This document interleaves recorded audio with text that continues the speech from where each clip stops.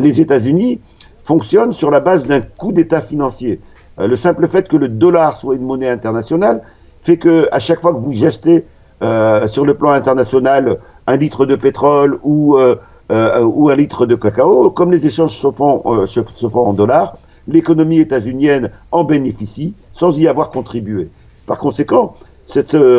dimension de, monnaie internationale, eh c'est la grande crainte des États-Unis que euh, ce soit les monnaies réelles qui deviennent les monnaies d'échange au niveau international. Et c'est pour cela que la décision de Poutine de faire payer le gaz et le pétrole en roubles, ou la décision ou les négociations des Chinois avec l'Arabie Saoudite et avec d'autres États pour que le commerce se fasse en yuan, c'est euh, en réalité remettre l'économie réelle dans son véritable cadre et euh, enlever ce, ce, vol, ce vol institutionnel qui a été l'instauration du dollar comme monnaie internationale. Les États-Unis sont menacés de perdre totalement leur place dans le monde si effectivement on commerçait avec les monnaies telles qu'elles découlent de l'économie euh, de, l'économie réelle. On comprendra que la classe dominante états-unienne n'ait pas envie de voir perdre euh, cette rente qu'est le dollar et que par conséquent elle redouble d'agressivité pour tous ceux qui eux ont intérêt à ce que la monnaie corresponde à l'économie.